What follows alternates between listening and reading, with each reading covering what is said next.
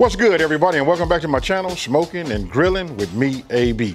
Now, check this out. Listen, if you guys been following me for a minute, you know what I like to say. I like to say, listen, we simplifying these recipes and taking the mystery out of cooking, right? I'm gonna show you guys just how easy it is to make a loaded chicken potato casserole. Super easy. And you know what? With me saying that, come on here and look at these ingredients right now.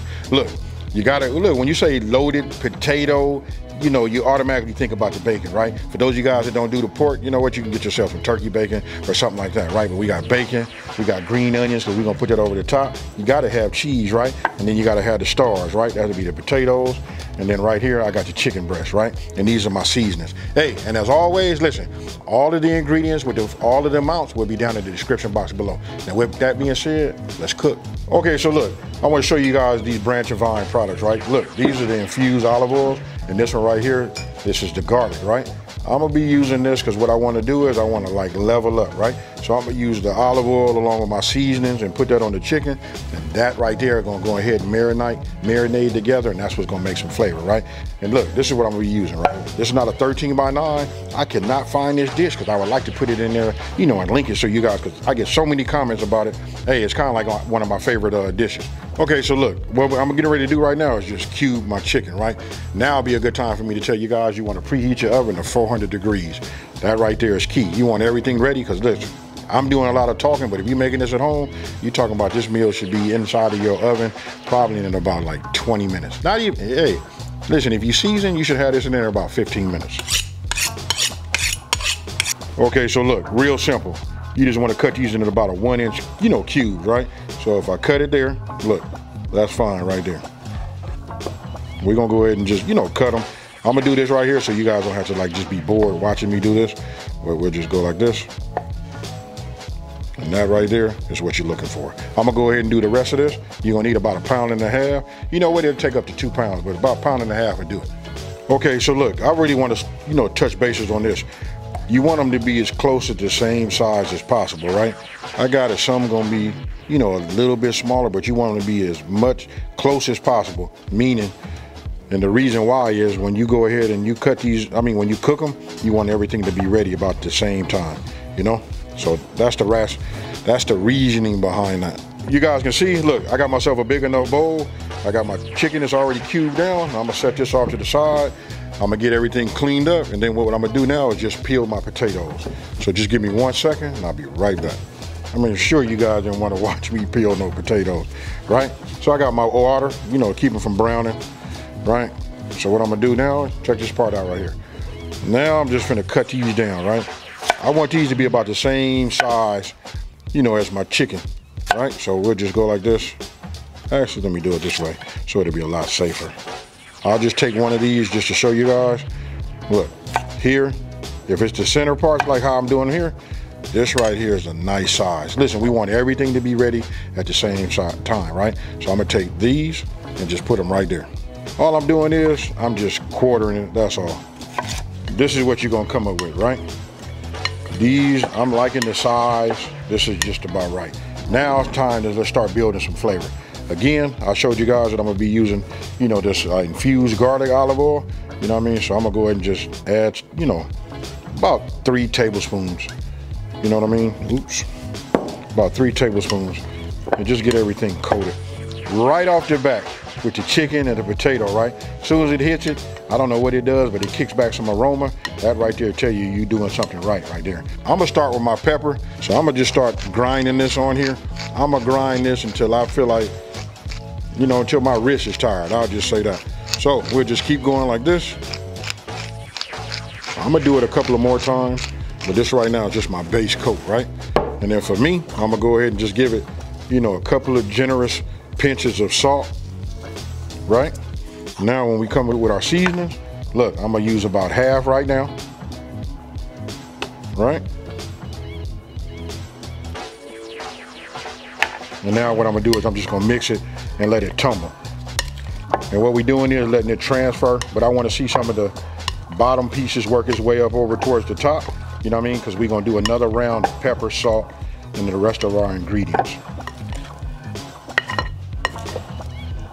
Just for me doing that on the top, as you mix this around, you can see that it coats and starts transferring the seasonings and everything onto all of the pieces, right? But we're not done.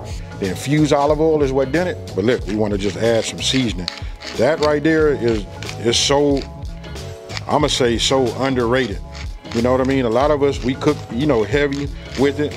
That's fine, but then there's a lot of us that don't really add enough seasoning to our food. And then we try to figure out why, you know, certain things don't taste like they do when you eat it in certain people's house. And the reason I say a house, because I'll tell you like this, a lot of times you go to the restaurant, they don't over season or they don't season enough. It's not over seasoning. Now I'm gonna go ahead and just give it my last two pinches of uh, salt and I'm gonna go ahead and mix this up. Then what we're gonna do is we're gonna put this in our dish. We're gonna go into the oven for about, about 40 minutes or until our chicken is done really. Get yourself some non-stick spray, right? You don't have to spray a whole lot, you know what I mean? But we're just gonna go like that because you know why? We got uh, olive oil on there. You know what I mean? That's gonna help it. Now, we just finna take our dish, right? And we just finna go ahead and add this to it. Ain't no secret way to do none of this. You just wanna do it. You wanna make sure it fills up everything. I'm not even getting ready to cover this. I'm talking about super simple, especially for all my beginners. I can smell the aroma and I can tell you this right here is gonna be real nice. Once we put that bacon on the top, hit it with that you know, green onion and that cheese, mm.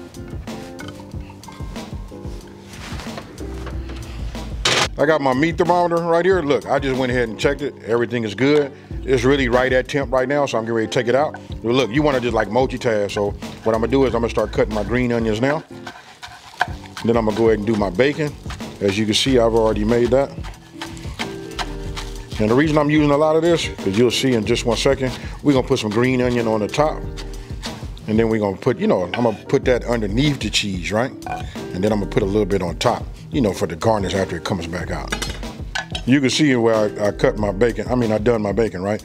You really can almost like crumble it up. It's not quite that way, but I'm gonna still go ahead and use my knife. You know, you can hear it. You just wanna be able to get your bacon bits, you know, the way you want them. This right here is fine for me.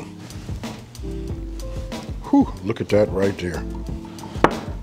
Now that right there, mm, man, just aroma that it gives off. So I can tell you now, when you season right, this is what you come up with. You can see it on every piece in there. You can see the chicken. You can see, look, look at all of the seasoning and flavor on top of, of, the potatoes. And then don't forget, we leveled it up with that Branch and Vine, that infused olive oil. We use that garlic. Hey, rosemary works. I'm gonna go, go ahead and expose uh, everybody to that Branch and Vine products. Listen, they got so many infused olive oils. You know what I mean? Uh, it's just a whole lot. Look, I don't want to ramble. What I'm gonna do right now is, look, we're just gonna take a little bit of this green onion, right? I'm just gonna go ahead and just give it a just, just a little bit, because look, we're going back into the oven if I hadn't said that already, right? And then when you put it back in the oven, when you put heat on top of, you know, something green, it'll kind of like wither, you know what I mean? It won't look quite the best, but I cut up enough, that's cool like that, right? Now I'm gonna go ahead and come with my bacon, you know? Oh, now, now you know why we called it loaded, right? You tell me, is it loaded? Is it not? Let me know down in the comment section, in the comment section below, right? Look at that right there. Your mouth should be watering because mine is as I'm talking. Now I'm gonna come with a little cheese just to protect it a little bit over the top because we want this to melt. Now listen, we kept it at 400 degrees. We only going back for five minutes. You know what I mean? And I'm gonna be honest with you, I want you guys to stand in front of your oven and keep an eye on it because you know what? We don't want to make this look dark or nothing like that. This right here is what I'm talking about. Now check this out. I left this much right here because I'm gonna sprinkle a little bit more over the top you know what I mean? But this right here, I wanted to go ahead and, you know, do his thing. Hey, and I want you guys to notice these too. Check out these pot holders. And if you hadn't noticed already, look at my apron right here. Hey, listen, these are coming soon. I know it's a shameless plug, but check this out. This is going back. Don't forget, five minutes. We just want to melt the cheese. All right, there we are once again. Now you guys look at that. If that don't make your mouth water, look at the way that cheese melted. That's just right. And this is an example of when I tell you guys, stay there, look at it, and stay on top of it. You know, on top of your uh, oven so that you don't like burn it or you don't really burn it. You could just make your cheese turn a different color, right?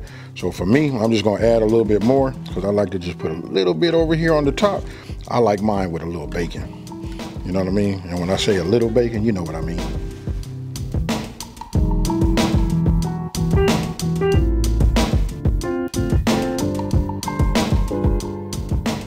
Hey, so you guys come on in here and take a look at this right now.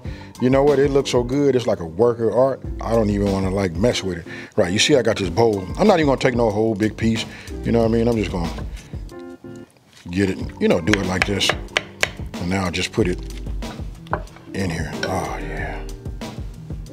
Probably should have got myself a spoon. But anyway, I'm just gonna take this right here. Now it's time to go ahead and do a taste test. Mm -hmm. Cheers, y'all. I'm gonna start with a piece of this chicken. Then we're gonna go in here. Uh-oh. Let's get that. Mm.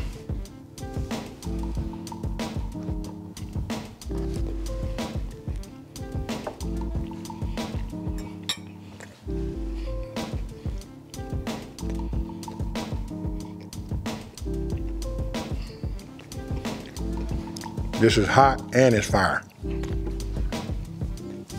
That there is fire. Now, I want to say this part. Listen, most of everything that I make on this channel, listen, you guys can put your own spin on it. This right here is just like the basics to get you into the game, right? I can barely think, man, because my mouth is just exploding. There's not no whole lot of, you know, stuff in there.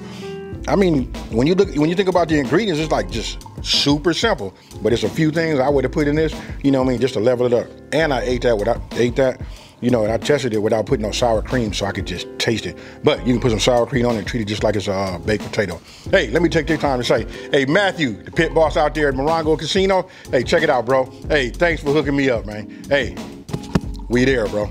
With that being said, you guys try this. You know what I mean? Let me know what you guys would do down in the comment section below. I'm interested to read what would you add to this to send this even much, much more over the top, right?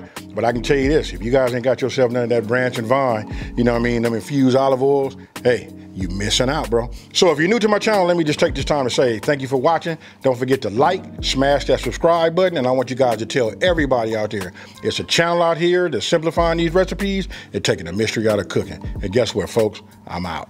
Peace.